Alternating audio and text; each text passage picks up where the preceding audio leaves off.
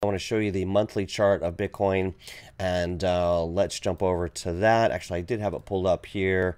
Uh, right here, you guys. Okay, so um, what this shows, look at this giant green candle. For one, we have you know we have seen those in the past, but not since back here in the beginning of the bull run.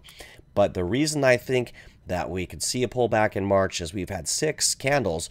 This, you know, the, this we've had six candles on a monthly basis. Very rare. We only saw that on this bull run, and then in the prior cycles we've seen pullbacks along the way, although minor. If we go back to the 2017 bull run, we had one, two, three, four, five, six green candles on the monthly time frame, and then we had a red candle which pulled back. It did pull back to this level and then bounced, and then we continued the bull run. So uh, that is what I am expecting here as well.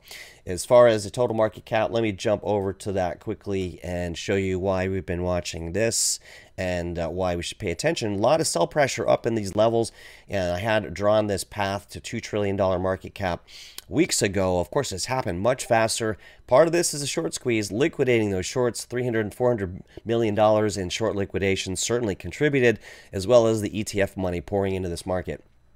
Uh, these round numbers typically very important for Bitcoin. Again, that $3 trillion market top, that was the exact top of the last cycle. And of course, we had the 1 trillion level that we struggled with all the way back in here as support, resistance, and support and support finally broke up. For some reason, the 2 trillion is not as sticky. It's more like this 2 trillion level where we have pushed right above this but on a monthly time frame we haven't yet. So that could still sell off. If i move this up here of course 2 trillion right around 2 trillion dollars was this strong resistance back here. We did blow through it but uh, we you know on a weekly time frame the week hasn't closed yet. So this could certainly sell off back to this 2.2 trillion level